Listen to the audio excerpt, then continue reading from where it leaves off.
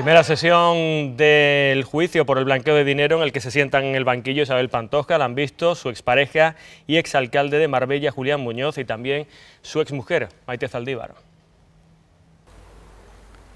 El primero en llegar a los juzgados ha sido Julián Muñoz.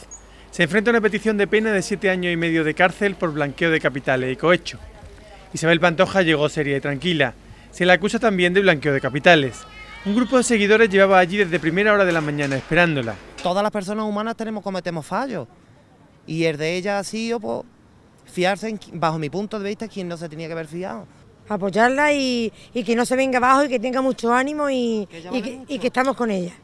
El abogado Isabel Pantoja ha pedido la nulidad de las actuaciones por considerar que se vulneraron los derechos fundamentales de su clienta. La detención de acuerdo del magistrado instructor, vulnerando el, derecho a la libertad y vulnerando el derecho a la seguridad jurídica y vulnerando el derecho fundamental también a su propia defensa, porque en el estado en que llega al día siguiente al juzgado de, de instrucción es absolutamente lamentable. Otra de las caras conocidas que está siendo juzgada a partir de hoy es Maite Zaldívar, la mujer de Julián Muñoz, a la que se acusa del mismo delito. Su abogado ha pedido hoy la suspensión del juicio hasta que se conozca la sentencia del caso Malaya. Se van a solapar cuestiones que se tienen que resolver en Malaya eh, y entonces, claro, ¿qué ocurre si el, caso se celebra, este se termina? Mm, está condicionado entonces las, está condicionando la sentencia del Malaya al resultado de este, de este juicio. En total son 10 los acusados por un caso que ha traído hasta la ciudad de la justicia a 150 periodistas de 30 medios de comunicación. A primera hora de la tarde los acusados abandonaron los juzgados y la vista se reanudará mañana. Blanqueo de capitales y cohecho son los delitos a los que se enfrenta Julián Muñoz. La Fiscalía Anticorrupción pide para él siete años y medio de prisión y una multa de siete millones y medio de euros. Está acusado de enriquecerse de manera ilícita y blanquear hasta tres millones y medio de euros siendo alcalde de Marbella. Pero ¿cómo?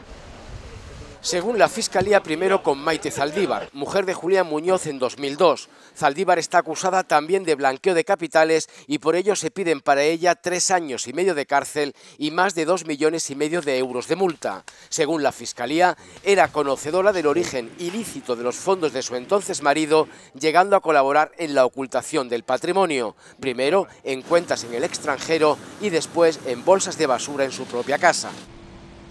Pero el matrimonio Muñoz-Aldívar termina en 2003. Ese año la cantante Isabel Pantoja y el todavía alcalde de Marbella hacen oficial su relación. Según la Fiscalía, a partir de ese momento, el patrimonio de la artista se ve incrementado sin justificar en hasta 1.800.000 euros y en muy poco tiempo, periodo en que se realiza la compra de un apartamento de lujo y una finca en Marbella.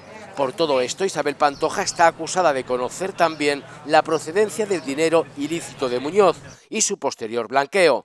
Se piden para ella tres años y medio de cárcel y una multa de 3,6 millones de euros.